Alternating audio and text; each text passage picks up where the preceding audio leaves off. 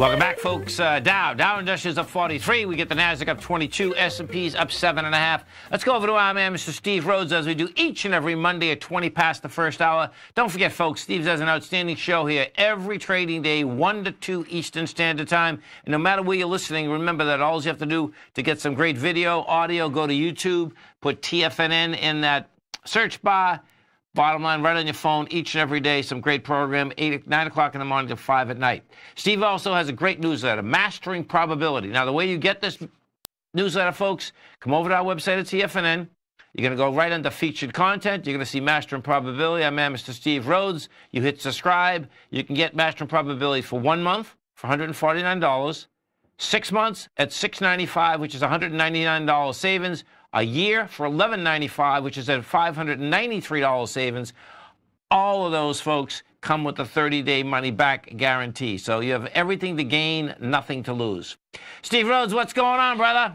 Well, I was thinking about you yesterday, and and the reason is uh, I was uh, I'm planning a trip to uh, Japan. Oh, sweet. And, and as and as, of course, as part of that uh, becomes the, uh, the the flight arrangements. And I haven't been to Japan for a number of years, and, and thought it's time to go back. I, I love it over there. Yeah. And uh, but but the reason I was thinking about you as I was starting to take a look at flights, I know, was imagining the jet lag that you must have because I've taken that trip direct, um, you know, a number of times. Uh, and so so how are you doing? How's the jet lag? It, you know, I was lucky. I think um, it's a long ride. There's no doubt about that. Uh, but I got back I, I, they, I left on a Sunday night. So picture this. I left China, but I was out of the factory town. So I actually left China Eastern Standard Time at 6 o'clock Sunday night and got back and Tuesday at 11 in the morning. exactly. Uh, but so, but so, listen, I, I, fell, I went home, fell asleep, yes. woke up at 3 o'clock in the morning, took my dog for a walk, come back at 4, went back to sleep, woke up at six, and I felt good. So. Ah, that's great. That, yeah. what, what, what's your big takeaway? Would you say your top two or three things? Uh, they, they can build anything, and they. The sad, you know, the the smog is a big deal. There's no doubt about that. They'll get that okay. straightened out, but they can build anything, man. And they, they're efficient. I mean, if you get people get a chance, go there, folks. I mean, they took 700 million people out of poverty in what 30 years. Yeah. Um, it's it's pretty intense. It's real intense, man. I mean, you, yeah. you can't you can't you cannot comprehend how many buildings there are, high rises, and they're filled. I, I drove three and a half hours, and they never stopped. Yeah, yeah. so like, imagine this: many many years ago, probably 15, 20 years ago, when I was over there doing a, a theme park um, deal. Uh, I caught up with a bunch of guys, a, a, few guys that were from Australia that were doing a uh, hot air balloon uh, kind of a, a, a, ride, so to speak, at this theme park. Basically, there it was going to be on a tethered line, you know, to take people up. But uh, I became friends with these guys, and and we took their hot air balloon uh, over southern China and of course we, we had a we had a chase car and but we're flying over first a lot of there's a lot of barren land out there as well yes but then you come over these large cities large cities you know five to ten million people and uh, and then the folks would be looking up seeing you know it's not like there's hot air balloons flying over no. china uh, no. That often. And we landed uh, uh, because we were we could see that we were coming across a river where we couldn't see where the chase car would get us, so we didn't want to be stuck. And uh, so we landed in this field. It was a weekend too, and uh, we we landed in this uh, uh, like a, a, high school field, uh, and there were some guys, Chinese guys, that were playing basketball.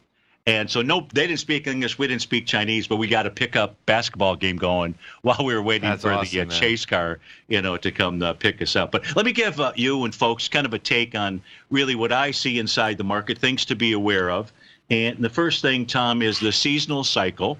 So we're about to end April. And this chart here shows a seasonal cycle over the last 87 years for the Dow and shows that there's a topping period. The old sell in May really uh, the the typical average high that forms inside the Dow. Two different time periods during this, we'll call it the unfavorable seasonal cycle. The first is towards the middle or third week in May, May 19th. Um, then there is, and then it's typically moved down into the uh, late June timeframe, a nice bounce into about the third week in July, and then the, the move down into the uh, fall time frame, typically in the middle of October. So we should just be aware that that seasonal cycle is uh, present. And, and what we do is we use that to c- take a look for other patterns that could be completing around that time period to line up with the, the cycle. So if we take a look at the Dow, and as I heard you talk about uh, the Dow, it remains in a consolidation. As great as the markets have been, the Dow is still in a consolidation. That seasonal cycle is what we were looking at uh, for the Dow. And for me, a real breakout of this consolidation doesn't occur to until 27,302. Now, clearly, as you pointed out, the January high of uh, 2018, 26,616, that's another level. But the reason I come up with the 27,302 in order for a real breakout to occur, Tom, is by taking a look at the Dow's horizontal trading ranges, which is what we have up on the screen right now. And these are the month. This is a monthly chart.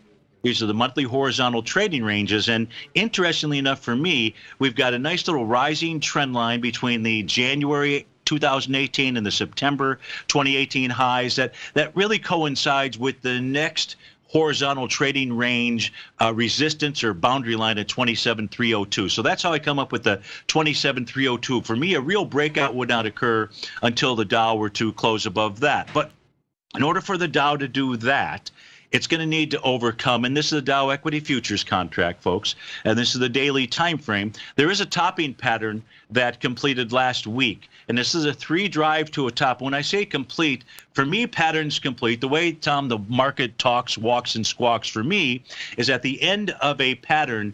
I, I, I in this case here, this would be a bearish pattern.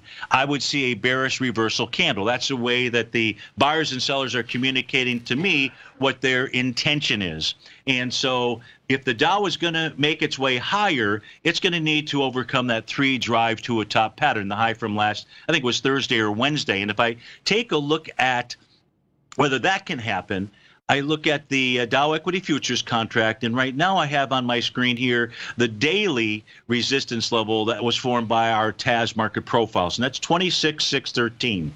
So, in order for the Dow to really um, move above a, a level that says, hey, we're, we're entering this time period here of the seasonal cycle, won't get caught up into the sell in May, I can see some real resistance. In summary, the Dow is in its consolidation pattern on a, a monthly time frame. It's got a uh, uh, it's got a topping pattern on the daily time frame, and there's some resistance that is built in. Real quickly here for folks, the S&P, yes, it's at new all-time highs, but for me, a breakout's not going to occur until price closes over 3,000. It's really using the same set of tools, Tom. You'll see the horizontal trading range at 29.93 here for the S&P for its monthly time frame, but we've also got that rising trend line. So that's the the range 29.92 to 3,000 for me is where the real breakout inside the S&P on a daily basis for the ES Mini.